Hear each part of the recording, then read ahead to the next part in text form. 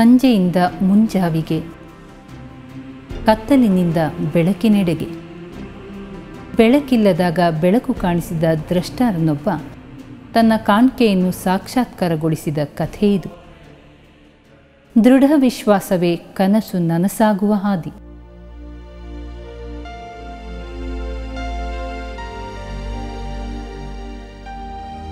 ಆ ಕತ್ತಲಲ್ಲಿ ಕುಳಿತ ವಿಶ್ವೇಶ್ವರಯ್ಯನೆಂಬ ಹುಡುಗ ತನ್ನ ಕಾಲದಾಚೆಯ ಕನಸು ಕಾಣುತ್ತಿದ್ದಾನೆ.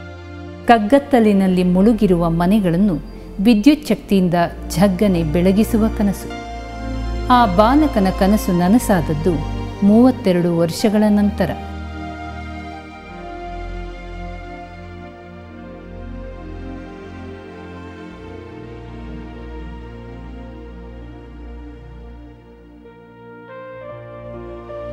ಮೋಕ್ಷಗುಂಡಂ ವಿಶ್ವೇಶ್ವರಯ್ಯ ಆ ವಿಸ್ಮಯದ ಸಾಧನೆಯ ರೂವಾರಿ. ಭಾರತದ ಇತಿಹಾಸದಲ್ಲಿ ಚಿರಸಾಧನೆಯನ್ನು ಸುವರ್ಣಾಕ್ಷರದಲ್ಲಿ ಬರೆದಿಡಬೇಕಾದ ಖ್ಯಾತ ಇಂಜಿನಿಯರ್. ಅದಾದದ್ದು ಕಳೆದ ಶತಮಾನದ ಹೊಸ್ತಿಲಲ್ಲಿ, ಸಾವಿರದ ಒಂಬೈನೂರ ಎರಡರಲ್ಲಿ. ಶಿವನ ಸಮುದ್ರದಲ್ಲಿ ಇನ್ನೂ ಆ ಟರ್ಬೈನ್ಗಳು ಸುತ್ತುತ್ತಿವೆ. ಸಾವಿರದ ಎಂಟುನೂರ ಅರವತ್ತೊಂದರಲ್ಲಿ ಮುದ್ದೇನಹಳ್ಳಿ ಎಂಬ ಸಣ್ಣದೊಂದು ಕುಗ್ರಾಮದಲ್ಲಿ ಜನಿಸಿದರು.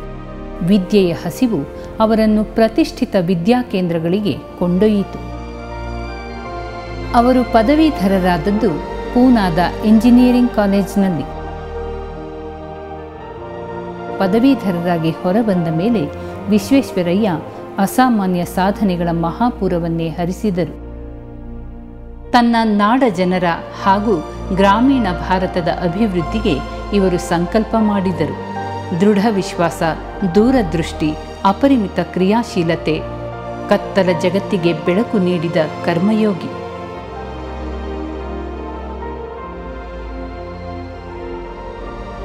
ಹಳ್ಳಿಗಳ ಅಭಿವೃದ್ಧಿಗಾಗಿ ಸಮಿತಿಗಳನ್ನು ರಚಿಸಿದರು. ಈ ಸಮಿತಿಗಳಲ್ಲಿ ಸ್ಥಳೀಯರು ಸ್ವಯಂ ಸೇವಕರಾಗಿ ಪಾಲ್ಗೊಳ್ಳುವಂತೆ ಮಾಡಿದರು.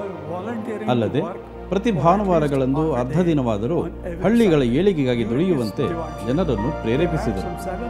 ಅವರು ದಿವಾನರಾಗಿದ್ದಾಗ ಸುಮಾರು ಏಳು ಸಾವಿರ ಹಳ್ಳಿಗಳಲ್ಲಿ ಈ ರೀತಿಯ ಸಮಿತಿಗಳು ಅಸ್ತಿತ್ವದಲ್ಲಿದ್ದವು. ಜನರು ಪರಸ್ಪರ ಸಹಕಾರದಿಂದ ತಮ್ಮ ಹಾಗೂ ತಮ್ಮ ಸಮಾಜದ ಅಭಿವೃದ್ಧಿಗಾಗಿ ಶ್ರಮಿಸಬೇಕೆಂಬುದು ಅವರ ಸಂದೇಶವಾಗಿತ್ತು. ವಿಶ್ವೇಶ್ವರಯ್ಯನವರು ತಮ್ಮ ವೃತ್ತಿ ಜೀವನವನ್ನು ಮೊದಲು ಪ್ರಾರಂಭಿಸಿದ್ದು ಸಾವಿರದ ಎಂಟುನೂರ ಎಂಬತ್ನಾಲ್ಕರಲ್ಲಿ ಮುಂಬೈ ಸರ್ಕಾರದಲ್ಲಿ ಸಹಾಯಕ ಎಂಜಿನಿಯರ್. ತಮ್ಮ ಸುದೀರ್ಘ ಬದುಕಿನುದ್ದಕ್ಕೂ ಅಪಾರ ಕ್ರಿಯಾಶೀಲತೆ ಹಾಗೂ ಸೃಜನಶೀಲತೆಯಿಂದ ನೂರಾರು ಯೋಜನೆಗಳನ್ನು ಅನುಷ್ಠಾನಗೊಳಿಸಿದರು. ದೇಶ ವಿದೇಶಗಳಲ್ಲಿ ಇವರ ಯೋಜನೆಗಳು ಸಾಕಾರಗೊಂಡವು.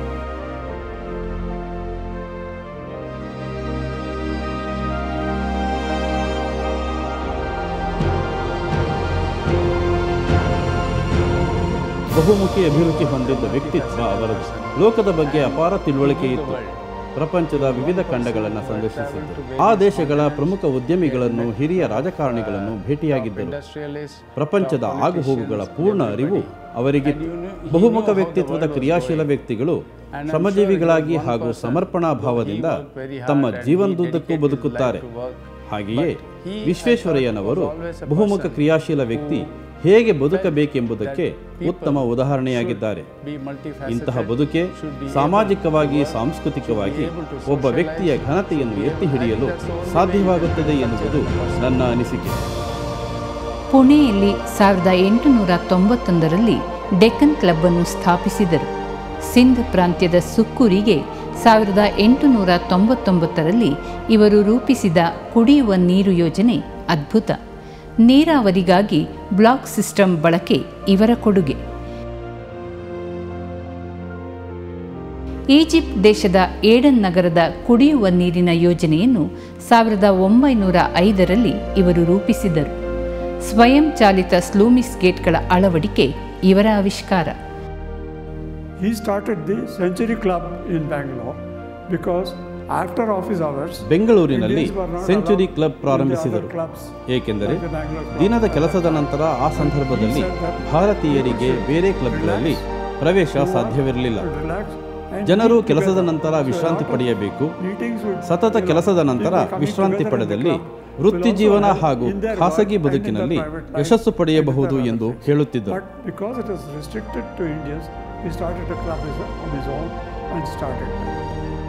ಕೊಲ್ಲಾಪುರ, ಪುಣೆಯ ಕಂಟೋನ್ಮೆಂಟ್ ಶುದ್ಧ ಕುಡಿಯುವ ನೀರು ಯೋಜನೆ, ಪ್ರವಾಹ ನಿಯಂತ್ರಣಕ್ಕಾಗಿ ಸುಧಾರಿತ ಒಳಚರಂಡಿ ಯೋಜನೆ ಇವರ ಸಾಧನೆಯ ಹೆಜ್ಜೆಗುರುತುಗಳು ಮೈಸೂರು ಸಂಸ್ಥಾನಕ್ಕೆ ಸರ್ ಎಂ ಎಂವಿಯವರು ದಿವಾನರಾಗಿ ಬಂದದ್ದು ಕರ್ನಾಟಕ ರಾಜ್ಯದ ಅದೃಷ್ಟ. ಅಂದಿನ ಮಹಾರಾಜರಾದ ನಾಲ್ವಡಿ ಕೃಷ್ಣರಾಜ ಒಡೆಯರ್ ಅವರಿಂದ ಮೈಸೂರು ಸಂಸ್ಥಾನಕ್ಕೆ ದಿವಾನರಾಗಿ ಇವರು ನೇಮಕಗೊಂಡಿದ್ದೇ ಹಳೆ ಮೈಸೂರು ಪ್ರಾಂತ್ಯದಲ್ಲಿ ಭಾಗ್ಯದ ಬೆಳಕು ಮೂಡಿತು.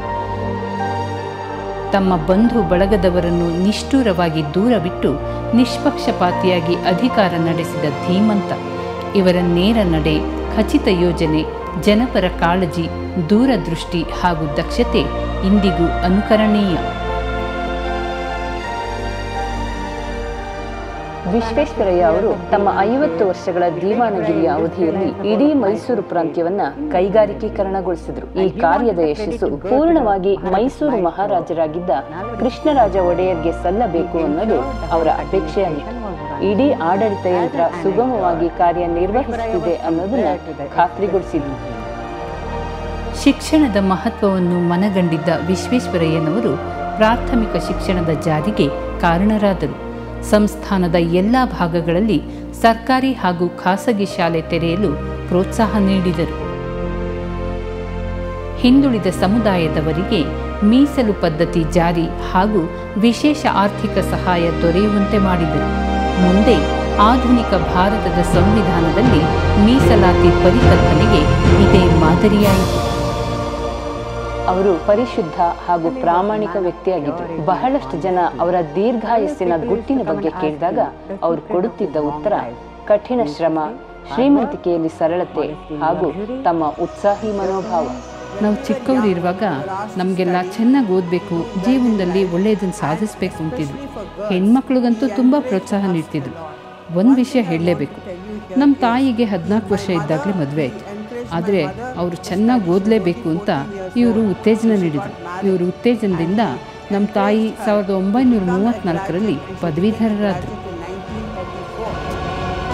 ಬೆಂಗಳೂರಿನಲ್ಲಿ ಕೃಷಿ ಶಾಲೆ, ಜಿಲ್ಲಾ ಕೇಂದ್ರಗಳಲ್ಲಿ ಕೈಗಾರಿಕಾ ತರಬೇತಿ ಕೇಂದ್ರಗಳ ಸ್ಥಾಪನೆ, ಮೆಕ್ಯಾನಿಕಲ್ ಇಂಜಿನಿಯರಿಂಗ್ ಹಾಗೂ ವಾಣಿಜ್ಯ ತರಬೇತಿ ಕಾಲೇಜುಗಳ ಸ್ಥಾಪನೆ, ಇವೆಲ್ಲವೂ ಮೈಸೂರು ಪ್ರಾಂತ್ಯದಲ್ಲಿ ತಾಂತ್ರಿಕ ಶಿಕ್ಷಣಕ್ಕೆ ಬಹಳ ಮಹತ್ವ ದೊರಕಲು ಕಾರಣವಾಯಿತು. ಜಯಚಾಮರಾಜೇಂದ್ರ ತಾಂತ್ರಿಕ ವಿದ್ಯಾಲಯವನ್ನು ಸ್ಥಾಪಿಸಿದ ವಿಶ್ವೇಶ್ವರಯ್ಯನವರು ಮೈಸೂರು ಸ್ಟೇಟ್ ಬ್ಯಾಂಕನ್ನು ಸ್ಥಾಪಿಸಿ ಬ್ಯಾಂಕಿಂಗ್ ಕ್ಷೇತ್ರ ರಾಷ್ಟ್ರದ ಪ್ರಗತಿಗೆ ಎಷ್ಟು ಮುಖ್ಯವೆಂದು ಮನವರಿಕೆ ಮಾಡಿಕೊಟ್ಟರು. ಕೈಗಾರಿಕಾ ಪ್ರಗತಿಗೆ ಆರ್ಥಿಕ ಬೆಂಬಲ ದೊರಕಿಸುವುದರ ಜೊತೆಗೆ ತಮ್ಮ ದೂರದರ್ಶಿತ್ವದ ಚಿಂತನೆಯ ಫಲವಾಗಿ ಜಗತ್ಪ್ರಸಿದ್ಧ ಶ್ರೀಗಂಧದ ಸಾಬೂನು ಕಾರ್ಖಾನೆ ಉಕ್ಕಿನ ಕಾರ್ಖಾನೆ.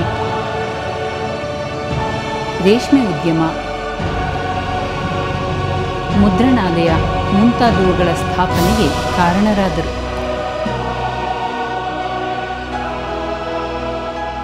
ಕೈಗಾರಿಕೀಕರಣ ಅಥವಾ ನಾಶ ಎಂಬ ತಾತ್ವಿಕ ಚಿಂತನೆ ಅಭಿವೃದ್ಧಿಯ ಮೂಲಮಂತ್ರವಾಯಿತು.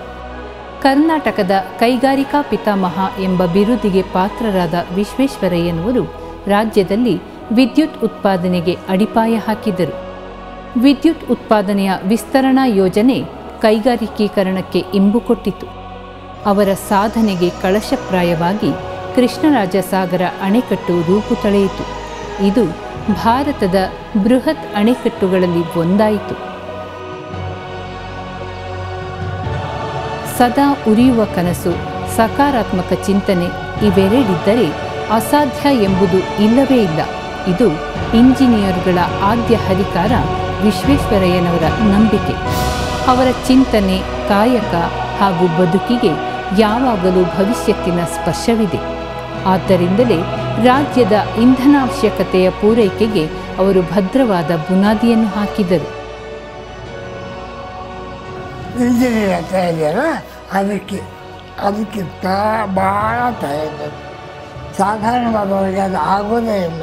ಈ ಶಿವನ ಸಮುದ್ರದಲ್ಲಿ ಕಟ್ಟಿರಲ್ಲ ಅಲ್ಲೂ ಕೂಡ ಎಲೆಕ್ಟ್ರಿಸಿಟಿ ಇದೆಲ್ಲ ಅದಕ್ಕೂ ಕೂಡ ನಕ್ಷೆ ಬರ್ಕೊಟ್ಟವರು ಇವರೇ ಹೆಸರು ಶೇಷದೇವರು ಬಂದ್ಬಿಡ್ತು. ಕೆಲಸ ಮಾಡಿದವರು ವಿಶ್ವೇಶ್ವರಯ್ಯನವರು ಆಯಿತು. ಅದು ಚೆನ್ನಾಗಿ ಗಟ್ಟಿಗೆ ಇದೆ ಇವತ್ತು. ಮಾನವನಾಗಿ ಹುಟ್ಟಿದ ಮೇಲೆ ಏನೇನು ಕಂಡಿ?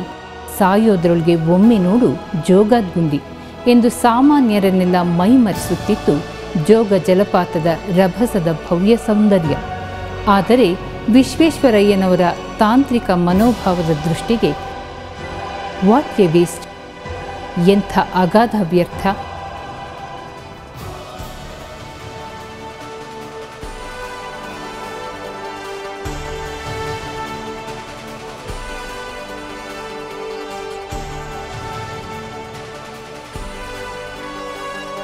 ಅವರ ಉದ್ಗಾರ ಅಷ್ಟಕ್ಕೇ ನಿಲ್ಲದೆ ತಮ್ಮ ಸ್ವಭಾವ ಸಹಜ ಯಾಂತ್ರಿಕ ನೈಪುಣ್ಯತೆಯಿಂದಾಗಿ ಸಾವಿರದ ಒಂಬೈನೂರ ಹದಿನೆಂಟರಲ್ಲಿ ಮತ್ತೊಂದು ಅದ್ಭುತ ಯಾಂತ್ರಿಕ ಸಾಧನೆಯನ್ನು ಮಾಡಿಸಿತು.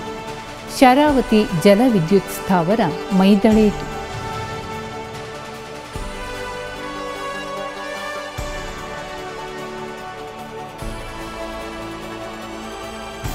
ವಿಶ್ವೇಶ್ವರಯ್ಯನವರ ಚಿಂತನೆಯಂತೆ ಒಬ್ಬ ಆದರ್ಶ ಇಂಜಿನಿಯರ್ನಲ್ಲಿ ಮಂತ್ರ, ತಂತ್ರ ಹಾಗೂ ಯಂತ್ರಗುಣ ಸಮ್ಮಿಲನವಾಗಿರಬೇಕು. ಮೊದಲಲ್ಲಿ ಸಾಧನೆಯ ಕಾಣ್ಕೆಯ ಚಿತ್ರವಿರಬೇಕು. ಇದೇ ಮಂತ್ರಗುಣ. ಎರಡನೆಯದಾಗಿ ಕಾಣ್ಕೆಯ ಚಿತ್ರವನ್ನು ಕಾರ್ಯಗತಗೊಳಿಸುವ, ಸಂರಚನೆಯಾಗಿಸುವ ಕಾರ್ಯಶಕ್ತಿ ಇರಬೇಕು. ಇದು ತಂತ್ರಗುಣ. ಕೊನೆಯದಾಗಿ ಯಾಂತ್ರಿಕ ನೈಪುಣ್ಯತೆ. ಇದೇ ಇಂಜಿನಿಯರ್ನ ಯಂತ್ರಗುಣ.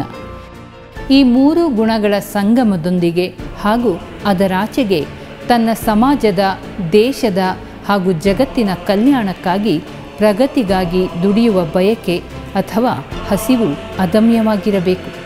ಇವಿದ್ದರೆ ಮಾತ್ರ ಅವನೊಬ್ಬ ಆದರ್ಶ ಎಂಜಿನಿಯರ್ ಆಗಲು ಸಾಧ್ಯ ಎಂಬುದು ಅವರ ವಿಶ್ವಾಸ. ವಿಶ್ವೇಶ್ವರಯ್ಯನವರು ಒಬ್ಬ ಮಹಾನ್ ಇಂಜಿನಿಯರ್ ಮಾತ್ರವಾಗಿರದೆ ಸಮಾಜದ ಅಭ್ಯುದಯಕ್ಕೆ ಕಾರಣವಾಗುವ ಎಲ್ಲ ರಂಗಗಳ ಮುನ್ನಡೆಯಲ್ಲೂ ಆಸಕ್ತಿ ತಳೆದರು. He was a man who didn't mix sentimentality with uh, discipline. ಅವರು ಶಿಸ್ತಿನ ವಿಷಯದಲ್ಲಿ ಯಾವುದೇ ರಾಜಿಯನ್ನು ಮಾಡಿಕೊಳ್ಳುತ್ತಿರಲಿಲ್ಲ. ಅವರ ಬಳಿ ಸದ್ಗೋಪಾಲಾಚಾರ್ ಎಂಬ ನಿಷ್ಠಾವಂತ ಸ್ಟೆನೋಗ್ರಾಫರ್ ಒಬ್ಬರು ಕೆಲಸ ಮಾಡುತ್ತಿದ್ದರು. ಅವರು ಬಸವನಗುಡಿಯಿಂದ ಸೈಕಲ್ ತುಳಿದು ಸರ್ ಎಂ ವಿ ಅವರ ಮನೆಯ ಬಳಿ ಬೆಳಿಗ್ಗೆ ಎಂಟು ಗಂಟೆಗೆ ಇರುತ್ತಿದ್ದರು. ಒಂದು ದಿನ ಅವರು ಎಂಟು ಇಪ್ಪತ್ತಕ್ಕೆ ಬಂದರು. ಅವರ ಪಂಚೆ ಹರಿದಿತ್ತು. 20 when ಮೈಕೈ ತರಚಿ ರಕ್ತವಾಗಿತ್ತು. ಹರಿದ? ಪಂಚೆಯಲ್ಲಿ ರಕ್ತಸಿಕ್ತವಾಗಿ ಬಂದ ವಯಸ್ಸಾದ ವ್ಯಕ್ತಿಯ ಬಗ್ಗೆ ಕನಿಕರ ತೋರಿಸಲಿಲ್ಲ. ಎಂಟು ಗಂಟೆ ಹೊತ್ತಿಗೆ ನಮ್ಮ ಮನೆಗೆ ಬರಬೇಕೆಂದರೆ ಅರ್ಧ ಗಂಟೆ ಮುಂಚಿತವಾಗಿ ಮನೆಯನ್ನು ಬಿಡಬೇಕು. ಆತುರಾತರವಾಗಿ ಹೊರಟು ಬಂದು ಈ ರೀತಿಯ ಪರಿಸ್ಥಿತಿ ತಂದುಕೊಳ್ಳಬಾರದು. ಹಾಗೆಯೇ ಯಾವ ರೀತಿಯ ಕ್ಷಮೆಯನ್ನು ಬಯಸಬಾರದು ಎಂದು ಹೇಳಿದರು. ಇಲ್ಲಿ ಎಂಟು ಗಂಟೆಗೆ ಬರಬೇಕು ಅಂದರೆ you should start half an hour earlier not that you leave in a hurry fall down and give the place ಕಂಡ ಕನಸುಗಳನ್ನು ಸಾಕಾರಗೊಳಿಸಿದ ಭತ್ತದ ಚೈತನ್ಯದ ಅಪಾರ ಕಾರ್ಯಕ್ಷಮತೆ, ದಕ್ಷತೆ, ಬದ್ಧತೆಗಳನ್ನು ಮೈಗೂಡಿಸಿಕೊಂಡಿದ್ದ ಮೋಕ್ಷಗುಂಡಂ ವಿಶ್ವೇಶ್ವರಯ್ಯನವರಿಗೆ ಬ್ರಿಟಿಷ್ ಸರ್ಕಾರದ ಗೌರವಾನ್ವಿತ ಸರ್ ಪದವಿ, ಭಾರತ ಸರ್ಕಾರದ ಅತ್ಯುನ್ನತ ಪದವಿ ಭಾರತ ರತ್ನ ದೊರಕಿದ್ದು ಆ ಪದವಿಗಳ ಮೌಲ್ಯವನ್ನು ಹೆಚ್ಚಿಸಲು ಕಾರಣವಾಯಿತು.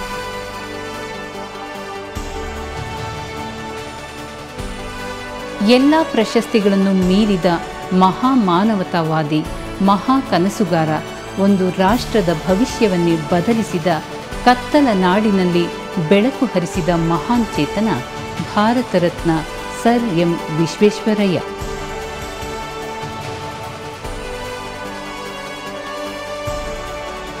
ಅವರ ಅಧ್ಯಯನಶೀಲತೆ, ಕ್ರಿಯಾಶೀಲತೆ, ಪ್ರಾಮಾಣಿಕತೆ, ದಕ್ಷತೆ, ನವಭಾರತ ನಿರ್ಮಾಣಕ್ಕೆ ಅವರು ವಿನಿಯೋಗಿಸಿದ ಶ್ರಮ ಸಮಯ ಅವಿಶ್ರಾಂತ ದುಡಿಮೆ ಸಾರ್ಥಕವೆನಿಸಬೇಕಾದರೆ ಇಂದು ನಾವೆಲ್ಲ ಆ ಧ್ರುವ ತಾರೆಯ ಆದರ್ಶಗಳನ್ನು ಪಾಲಿಸಬೇಕು.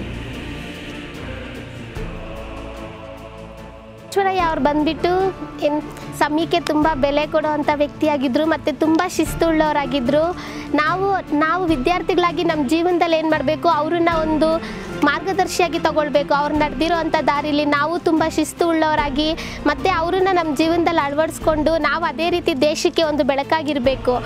ಸರ್ ಎಂ ವಿ ಅವರು ತುಂಬ ಶಿಸ್ತಿನ ಮನುಷ್ಯರು. ನಾವು ಅವರಿಂದ ಕಲಿಯಬೇಕಾಗಿರುವುದು ಶಿಸ್ತು ಹಾಗೂ ಸಮಯ ಪ್ರಜ್ಞೆ. ಭಾರತ ರತ್ನ ಪ್ರಶಸ್ತಿ ಪಡೆದ ಅವರು ನಿಜವಾದ ಅರ್ಥದಲ್ಲಿ ಭಾರತದ ರತ್ನವೇ ಆಗಿದ್ದರು. ಕಾಲದ ಸೀಮೆಯನ್ನು ದಾಟಿ ನಿಂತರು. ದೇಶದ ಮಹಾನ್ ಇಂಜಿನಿಯರ್ ಅಪ್ರತಿಮ ಮುತ್ಸದ್ದಿಯಾಗಿ ಅನನ್ಯ ದ್ರಷ್ಟಾರರಾಗಿ ಭವಿಷ್ಯತ್ತಿಗೆ ಸ್ಫೂರ್ತಿಯಾಗಿದ್ದಾರೆ.